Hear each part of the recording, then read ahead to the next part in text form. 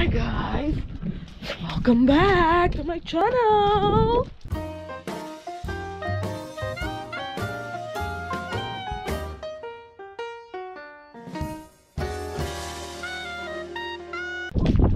Dito ako sa labas. Grabe ang ginaw.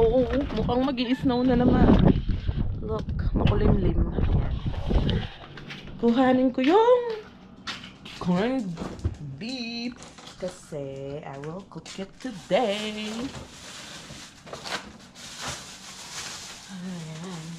Go up, Lily. Today is Lily. Get out. Today is St. Patrick's Day, so you're an Irish, you know.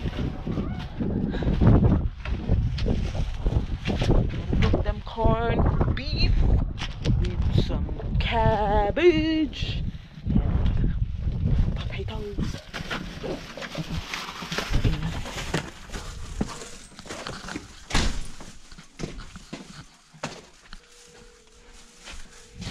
cook it in a slow cooker.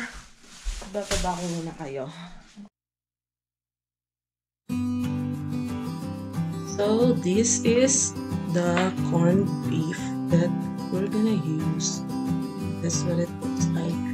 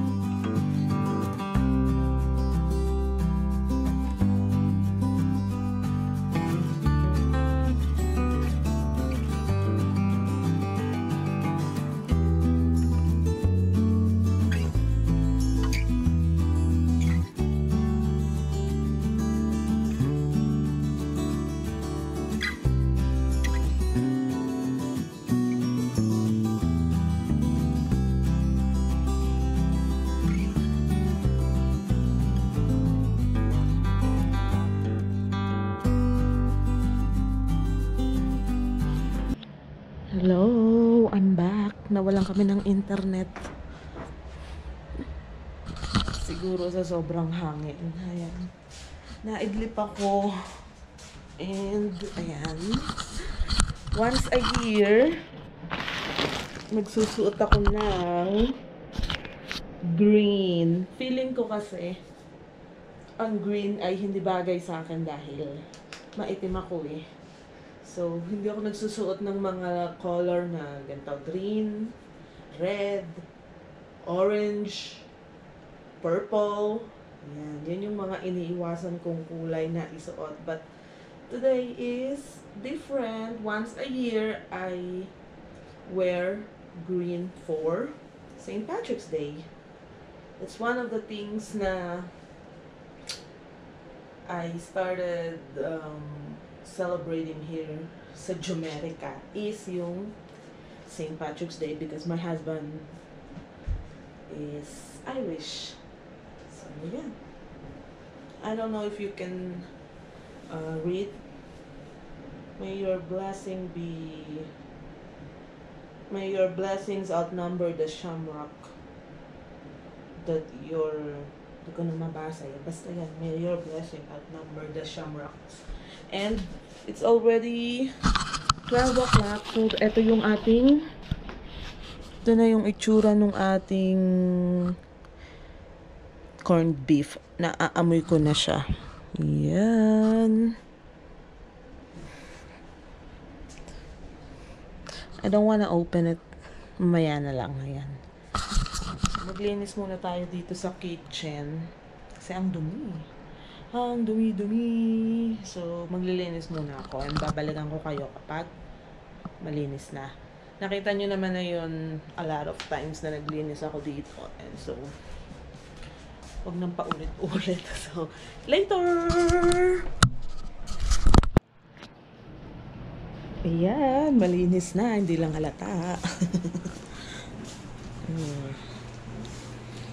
Yan. So, we will transfer it to the pot. And then, cook it in the stove kasi di siya kasha Pagka nilagyan pa namin ng patatas, ng cabbage, and then ng carrots. Pero, yan ang itsura niya. Oh. Yan. Yan. I will show you later. Legit na corned beef. Yan. Sa setup ng computer si Mark. Ingit ako. I'm so jealous of his new computer. I don't know. Bumili siya ng bagong Lenovo. Do I have a Microsoft account? Tinransfer na namin dito sa malaking pot yung ating corned beef. Yan. Lagay na natin yung patatas. Nabalatan ko na yung patatas and then we'll put some patatas, excuse me, and carrots.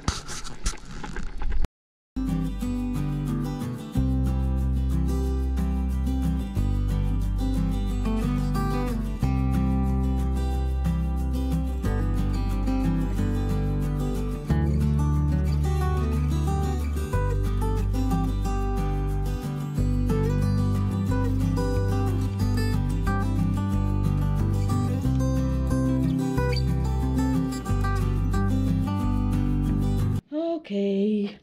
Just in. Anong oras na? 4.23. Ngayon lang niya naisip na sabihin na can you make soda bread because it's the traditional um, bread that you serve on St. Patrick's Day with some with your corned beef, cabbage, and potatoes. 4.30. So, let's start. Sabi niya, oh, it's so easy. All you have to do is mix the whole blah, blah, blah, blah, blah. So, hanap tayo ng recipe ng soda bread. Sa Pinterest or something. Alam ko, meron ako. And then, mag-start na tayo. Yun, balikan ko kayo. Ayan yun, yung soda bread. Ayan. Ang recipe na yan ay galing dito sa Little Irish Book. So, yan. Tignan natin kung ano yung magiging itsura niya after. So, pinipreheat ko pa yung oven. And then we'll put this. Luto na yung bread. Ayan. Taste test. Agad-agad. 30 minutes. So that's what it looks like. Does it looks done? It's done. It's just a, like a real heavy bread. Yeah. It's a very simple bread. It's an Irish thing, huh? Irish soda bread.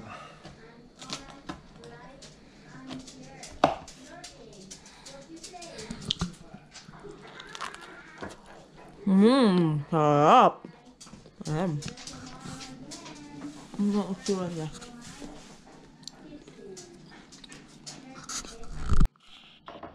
She's waiting. She's waiting because somebody's cutting the corned beef. Ito na yung corned beef.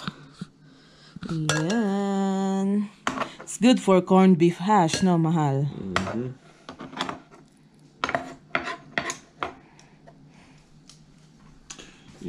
is. So, I'm making, I'm gonna make the gravy. Ito yung, kumuha ko ng konting sabaw dito. Ito yon and then we will thicken it with some cornstarch. Ito yung ating soda bread. Masarap siya.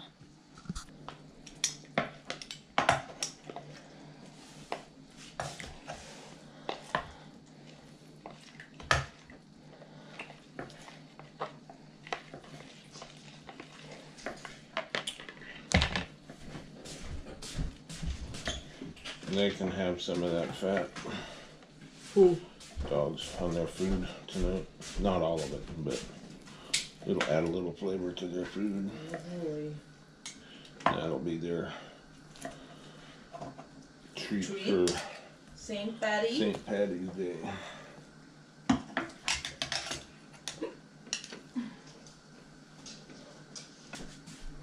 Uy. Uy. Oh. Sarap. Yan na siya.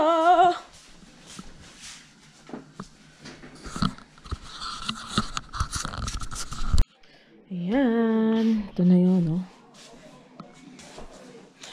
Kumakain na sila. Ako, hindi ako kumakain ng corned beef, hindi pa ako kumakain. Hindi ko alam kung ano kakainin. They are eating.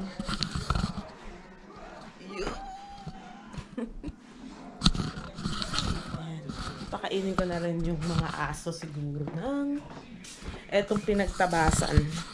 Yan. Ilalagay natin to sa pagkain nila. Konti lang. Kasi gabi na eh.